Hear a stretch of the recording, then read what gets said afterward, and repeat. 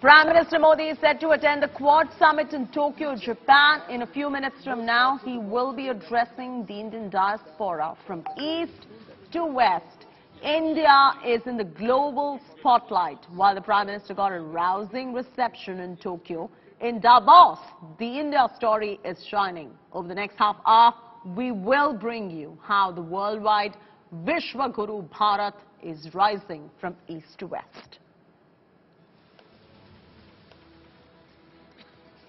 40 hours, 23 meetings. This is Prime Minister Modi's agenda for the worldwide tour of Tokyo. Modi kick-started the worldwide tour with a rousing welcome from the Indian diaspora, along with interactions with several kids and a meeting with the Indian business community. Prime Minister Modi is at present on a two-day visit to Japan for the second in-person Quad Summit scheduled to take place tomorrow. He's also going to be attending the second in-person Quad Summit with his US, Japan and Australian counterparts. Prime Minister Modi met uh, uh, Nobuhiro Endo, the chairman of IT company NEC Corporation. During their meeting, Nobuhiro Endo spoke about opportunities in India in areas such as smart cities, emerging technologies and digital learning. Prime Minister Modi also ended up meeting with Osamu Suzuki, a senior advisor of Suzuki Motor Corporation, and appreciated the transformational role of Suzuki Motors in the automotive industry of India. Modi is also going to be holding community and diplomatic engagements alongside bilateral talks with the head of states on various topics. From the China challenge in the Indo-Pacific to the aftermath of the war in Ukraine. This will be followed by a one-on-one -on -one talk with Biden, Kishida and Anthony Albanese on day one.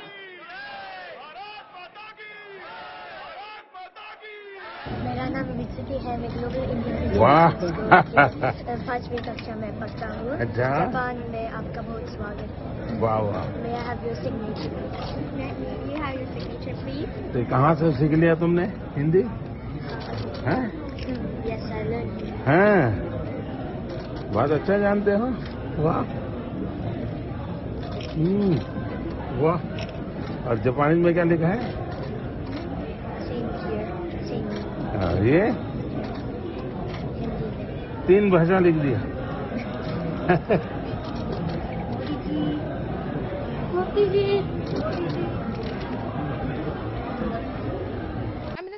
is in Tokyo and according him, a welcome in Tokyo were these children from a global Indian institution where there are, of course, some of them Japanese, in fact, who are learning Hindi as well, Indian students as well, who were there, in fact, bearing these placards, uh, writing down poems as well, welcoming uh, the Prime Minister. The Prime Minister, of course, had a very interesting interaction with Ritsuki. Ritsuki, can you tell us what you told the Prime Minister?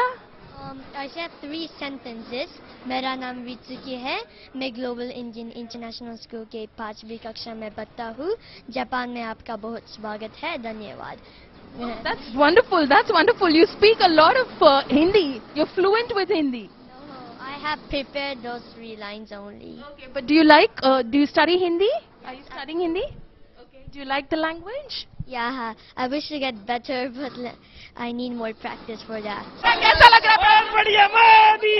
अच्छा लग रहा है बहुत कुछ है मोदी।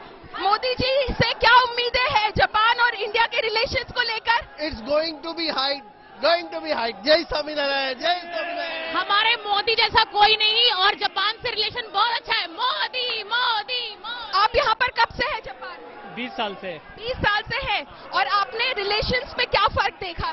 बहुत बड़ा फ़र्क देखा है। इंटरनेशनल सीन पे मोदी जी ने भारत का जो नाम बढ़ाया है और काफ़ी अच्छा लग रहा है। You saw Prime Minister Modi. What are your expectations from this uh, visit and Indo-Japan relations? You've been here for a while. Have you been living in Japan for a Yeah, while? we, we have been living here for more than 10, 12 years. Eight years. And I would say the expectations, we are on a, I would say we have a lot of expectations, yeah? So the relation is, yeah, relation is getting strengthened and strengthened. And uh, the, you know, Indian-Japan relationship not only it's getting limited, I'm saying it is going beyond limitation. Yeah, so we are uh, really thrilled. Okay, we are very thrilled, and uh, we, we and and we, are just you know I'm unable to say like what to say. इस बार मोदी जी ने सबसे हाथ मिलाया है। इस तरफ़ भी गए हैं उस तरफ़ भी गए हैं। छोटी बच्चों से नाम पूछा है और दिल उनसे मिलके बहुत खुश हो जाता है। हमारे तेजस्वी यशस्वी मोदी जी को देख के पूरा एक एनर्जी सी मिल जाती है। ऐसा लगता है अपने हम अपने भारत के लिए बहुत कुछ कर सकते हैं। एक हमारी जान भी उनके साथ कर बिल्कुल तैयार है। और ये नारा क्या है? जो त्रिसत्तर हटाए हैं वो टोक्यो आए हैं। नारा लगाया आप लोग हाँ आज आज कई बार वो मोदी जी जो टोक्यो आए हैं हमेशा इतना प्यार देते हैं वो यहाँ के लोग भी उन्हें इतना प्यार देते हैं। उन्हें ऐसा लगता है अपने दूसरे घर आए हैं। जो राम को लाए हैं वो टोक्यो आए हैं जो काशी सजाए हैं वो टोक्यो आए हैं जो तीन सौ सत्तर हटाए हैं।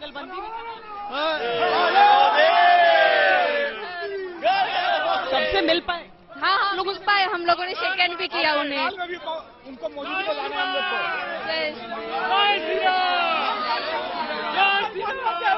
जो राम को लाए हैं वो भारत से जापान आए हैं।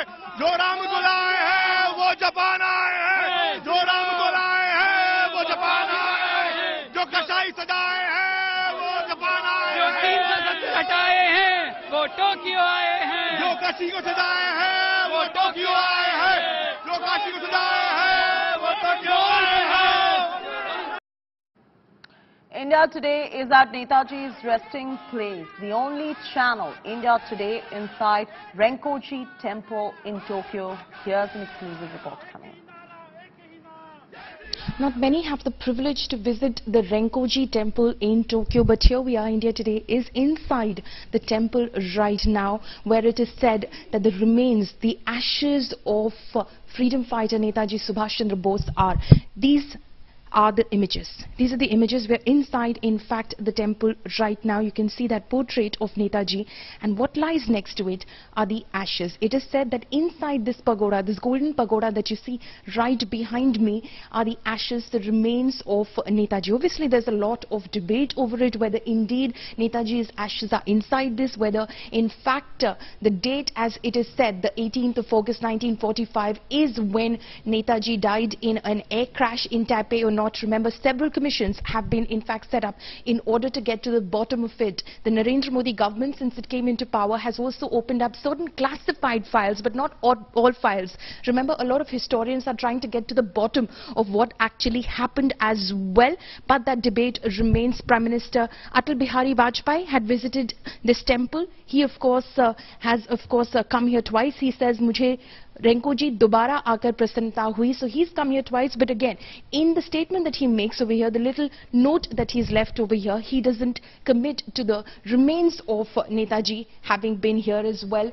Over here, you can see Pandit Nehru's uh, portrait as well, because he was here as uh, well. In fact, Mansi, if you could join me right now, Mansi is a Japanese who, in fact, has taken keen interest in this entire mystery as it is. Mansi is, of course, with us right now. Mansi, could you tell us exactly a little bit about what is inside this? What do people believe? Mm, I think um, this is uh, Netaji's ashes. uh, We Japanese uh, believe it. Uh, of course, and also the, the priest would like to return these ashes to India.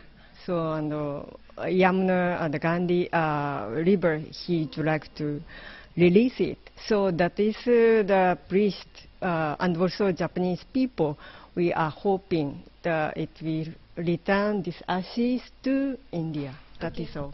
So that is what Eriko, who of course uh, calls herself Mansi as well because she's so connected with the Indian culture and has obviously studied this uh, for a long time. She believes that the ashes of Netaji Subhash Chandra Bose are inside this pagoda and she says that the priest of Renkoji temple would like to return them to India. Prime Minister Modi is in Tokyo. He has been here before in Tokyo but he's not visited the Renkoji temple because the mystery so to say, hasn't yet been unraveled in its fullest as to what happened to Netaji Subhash Chandra Bose. which Shweta Singh in Tokyo, Poulomi Saha for India Today. The Prime Minister just attended the Indo-Pacific Trade Initiative, a US-led counter to China. Biden formally unveiled the Indo-Pacific Economic Framework for Prosperity, where he also held talks with Japan Prime Minister. China has already reacted to the initiative, calling it a strategy that creates divisions and incites confrontation. Chinese Foreign Minister called it a strategy that is bound to fail. यह उल्लेखनीय है कि विश्व का सबसे प्राचीन commercial port Bharat में मेरे होम स्टेट गुजरात के लोथल में था। इसलिए ये आवश्यक है कि हम क्षेत्र की आर्थिक चुनौतियों के लिए साझा समाधान खोजें, रचनात्मक व्यवस्थाएँ बनाएँ। एक्सलेंसी भारत एक इंक्लूसिव और flexibility flexible Indo Pacific economic framework के निर्माण के लिए आप सभी के साथ काम करेगा। मेरा मानना है कि हमारे बीच रेजिलियंट सप्लाई चेन्स के तीन मुख्य आधार होने चाहिए। Trust, transparency and timeliness. मुझे विश्वास है कि यह फ्रेमवर्क इन तीनों स्तंभों को मज़बूत करने में सहायक होगा। और इंडो पैसिफिक क्षेत्र में विकास, शांति और समृद्धि का मार्ग प्रशस्त करेगा। बहुत बहुत धन्यवाद।